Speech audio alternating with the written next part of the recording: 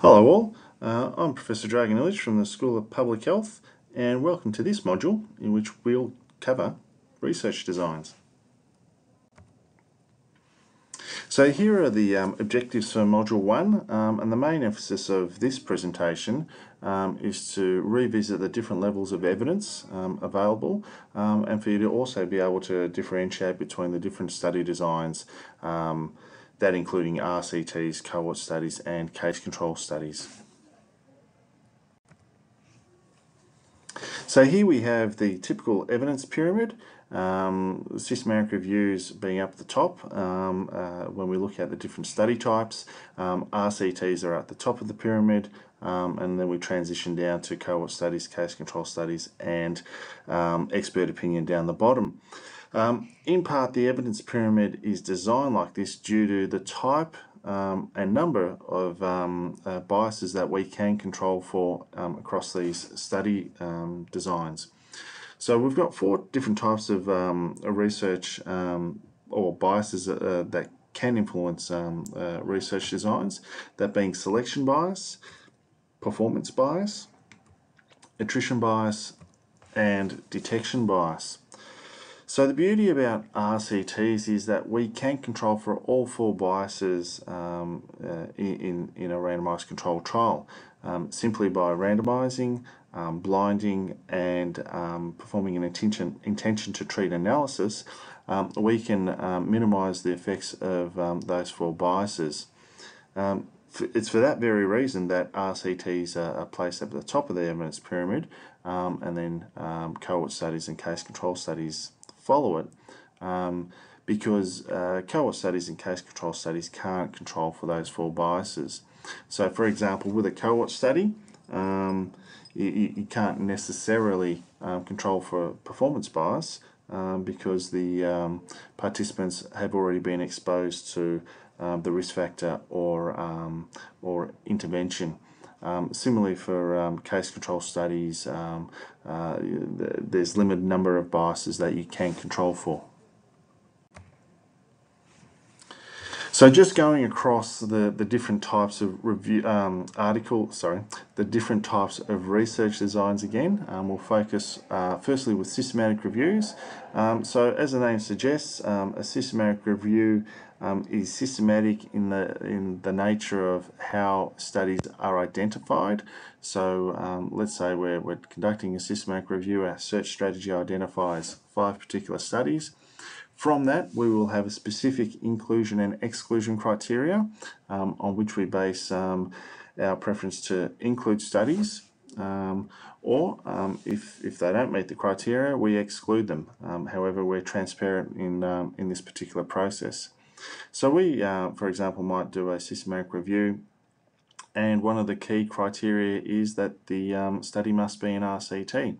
So in this case we've included three that are RCTs um, and two we've excluded uh, for the reason that they're either a cohort or a case control study. From that, um, or from those included studies, we can perform a meta-analysis. Um, mind you, we don't always need to perform a meta-analysis when conducting a systematic review, um, but majority of times um, we, we do perform that. Um, and a meta-analysis is, is literally um, pulling the data together across those three studies, accounting for different methodological issues as well as the sample size in order to get a, a pooled result. Okay, so focusing on an RCT. Um, so an RCT um, is prospective in nature, moves forward in time. Um, we'll have a sample of um, participants. So in this case, we've got um, our, our, hypothetical case of pregnant women. Uh, we randomise um, in order to minimise the impact of selection bias. either to a, an intervention group, so in this case we're saying it's folic acid, and we're comparing it to placebo. Um, in this case, we try and blind um, the, the, um, the, the, intervention in comparison. So um, if, they are, if they are in tablet form, try and make the tablet um, look the same, smell the same, taste the same, etc. across the two uh, groups. The only uh, difference being that one has uh, the folic acid and the other is a, um, a strict placebo. and then we'd follow them up in time um, you know, nine months, whatever it may be, um, in order to identify um, the outcome.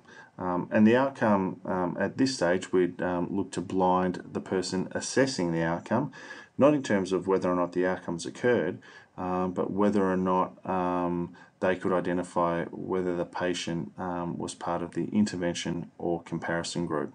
So detection bias is, is blinding the uh, person assessing the outcomes, but blinding them from a perspective that they don't know whether or not the participant was in the intervention group or the comparison group. Crossover trials, as the name suggests, um, patients crossover. Um, so they're randomized much like a, um, an RCT um, to one group um, or another group. So in this case, we're looking at aspirin versus uh, placebo. Um, we follow them up after a, um, a particular um, amount of time, um, after which um, we'll uh, remove the participants from the intervention and control. Um, so this is known as a washout period. it depends on how long the, the, the, drug or intervention is, is usually active for, but the, the role of the washout period is to try and get back to a baseline uh, level.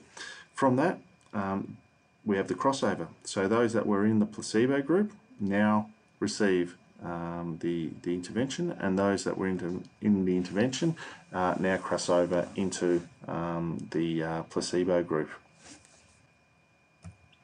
And then from there on we can then um, uh, obviously um, uh, measure the outcomes. Um, one of the advantages of doing a crossover trial um, is that you can double your sample size. So um, if you've got relatively small numbers of uh, participants, um, by, by having this um, initial phase and then a washout period and then a second phase in which you cross over, um, you're basically doubling your number of participants or sample size. So a cohort study, um, you can think of a cohort study um, much along the same lines as an RCT. Uh, the only difference is we don't have that randomization aspect. Um, so patients are um, already exposed to the um, risk factor or the intervention. In this case, yes, I did take folic acid or no, I did not take folic acid. Um, and then the same principles apply uh, moving forward in terms of um, uh, assessing um, and being able to blind um, uh, at, a, at an outcome assessment uh, viewpoint. A case control study, um, unlike the um, other studies that we've mentioned so far, is always um, retrospective in its design. so it starts off with the sample and we start off with the outcome. So in this case, our cases, um, women, women um, who have had a, a pregnancy um, affected by an NTD. Um, and then we work backwards in time, so to speak, um, whether it be through accessing patient records or interviewing the patient to identify were they exposed to, to the risk factor or the intervention that is of interest. So in this case, we have got our cases, um, uh, an NTD affected pregnancy and we're trying to identify those women of those uh, uh, whether or not they um, consume folic acid or not. Um, and then we um, identify a, um, a group of controls. So they're matched um, like for like for our cases uh, apart from the fact that they differ in their outcomes. So the controls are uh, women um, without a, uh, an NTD affected pregnancy um, and then we similarly work backwards to identify were they exposed or not uh, to the particular um, intervention or risk factor of interest. The last um, type of study that I'll, I'll briefly discuss um, are what we call step-wedged cluster trials. Um, so as the name suggests, a, a, cluster trial rather than recruiting and um, uh, allocating at an individual level. Um, cluster trials do so um, on, on, a cluster level. So whether it be um, you know you, you're conducting a trial at a hospital, the clusters may be wards. Um, you can go um, more more bigger picture, I guess, and um, look to um, recruit um, different hospitals and use those as clusters to randomise people to the intervention or the control. So you may be doing a study about a, a, particular uh, intervention or whatnot, um, and you may decide to use hospitals such as the Alfred or Dandenong or Mildura Base Hospital or whatever it may be as your clusters. Um, uh, and so everyone attending that particular hospital is randomized to the same intervention. So in this case, we've got, um, or in this example, we've got four clusters. Um, during the first period, um, all four clusters um, are exposed to the uh, control or placebo condition or whatever it may be. Um, in the second period, um, we begin by having uh, cluster 1 uh, switch over to the intervention, uh, whereas clusters uh, 2, 3 and 4 still remain in our control um, group. Um, period 3, um, cluster 1 still remains as our intervention, but now cluster 2, let's say a hospital 2, converts um, over into uh, the intervention group. Um, and so they're all exposed uh, to the intervention.